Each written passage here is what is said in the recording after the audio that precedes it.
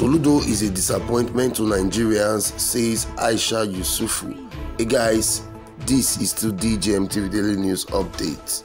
The conveyor of Bring Back Our Girls, Aisha Yusufu, has said the governor of Anambra State, Professor Charles Chukwuma Soludo, is a disappointment to Nigerians.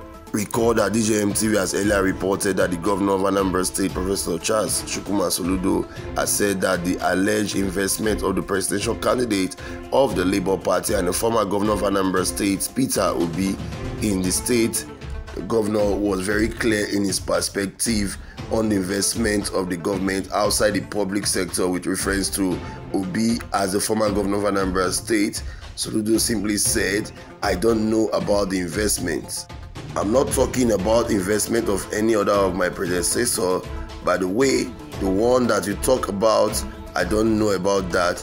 I think there was something I read about somebody speculating about whatever investment. With what I have seen today, the value of those investments is worth next to nothing. So let's leave that aside, he said. But reacting to the statement from Governor Soludo Charles, Aisha Yusufu said Soludo's remark and attack on Peter Obi is unprovoked and a clear indication of jealousy. She also said that Soludo is a disappointment to Nigerians. We are not bothered about what Governor Soludo has said because it is clear that the Southeast elite and the political class are not in support of their very own Peter Obi but it is very good because Peter Obi is not the Southeast president, he is a Nigerian president because he has been adopted by Nigerians. Let's watch the video, we'll be right back. Hello everyone, uh, welcome to Aisha's Take. I know this issue has been spoken about so much by different people and there have been so many takes. But I just felt I just needed to express myself on this. It's something that is so disappointing. Uh, it's on the issue of uh, Charles Soludo and the statement he made on uh, Peter Obi. Honestly, Soludo is such is such a disappointment.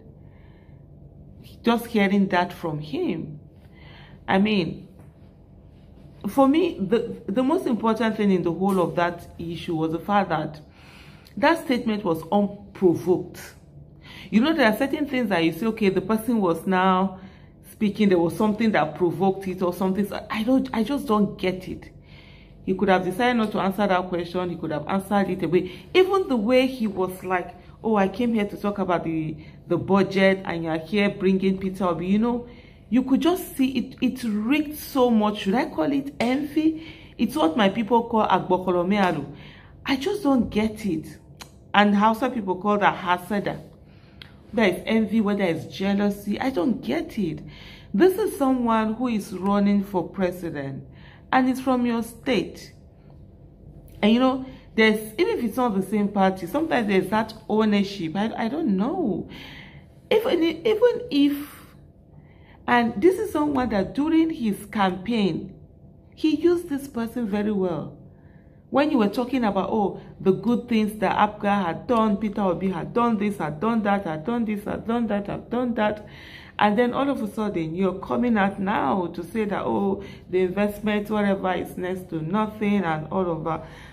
And I just love the way citizens have really gone documenting and telling him, okay, let's do comparison. Today, the Nigerian Naira is next to nothing. So that means it's your fault because you were once CBN governor and that was it's it's almost with the CBN governor his own tenure and Emefiele. I think it's the almost yeah it's the same thing because after Soludo was when uh, uh, uh, Sanusi Lamido Sanusi came in as governor, and then we have Emefiele that is such a disaster in office right now. So it will not be that oh okay then we'll not be blaming Soludo for the naira for what's happening to the naira now it just so it just so it just so something else. But the thing that i see which i see for from my own view and this is aisha's take on the whole issue of you find out that the southeastern political elite most of them are not are not in support of peter obi which is which is okay. Peter obi is not a southeastern candidate he's a nigerian candidate and that's it. We've adopted and i'm sure you guys saw what happened in edo state. My you know when we tell you people i don't know they carry last and i know they hear anyway that's not what i want to talk about now it's basically on this uh, uh, uh, uh statement. So the thing is this. So I, my own take, I Aisha's take on this is the fact that the political elite from the southeastern region feel that yes, power is going to come to the southeast, you know, later on, because at least it will be glaringly obvious that there's discrimination. And now, so they are biding their time, waiting for when the power comes, and then they will be the beneficiaries. So probably for people like Soludo and whatever, in the next eight, eight, eight years, when it gets to them, then they will not be the beneficiary. But now that they're saying this is not about the quota for the Southeast or whatever, this is about a candidate who is competent, who happens to be from the Southeast. And so they are not getting it. They are just all over the place and angry. And they are not even hiding their anger and envy and jealousy and whatever it is that you may call it. It's it's so it's so it's so glaring. And it, it's just it's just really it's just something else because I don't understand why people feel that they have to be the one to do something. For me, anybody that I see that feels that he's the only one who can be there or the, the one that should be, there are certain things that even if you're the one that should be, but you find out that, okay, well, it's not working out in your favor, but there's someone else that that person can get there. Support the person, get the person there, let's get the job done. At the end of the day, the major thing should be who is going what's going to work best for Nigeria. But then most of these people really don't have the issue of Nigeria in their mind. All they care about is their own personal uh, personal growth or personal gain or, uh, and stuff like that. And they are not seeing it. But I'm really glad that people are standing up. People uh, are not are not just taking this lying down. Uh, enough of those times that politicians felt that they own the political terrain in Nigeria there are a group of Nigerian citizens who are saying, no, it's time for the people to finally own the political terrain. And I hope as um, as we go on, this this matures, this this this gets into, you know, becomes the norm in Nigeria, where it is the citizens that have the power, not few political bigwigs.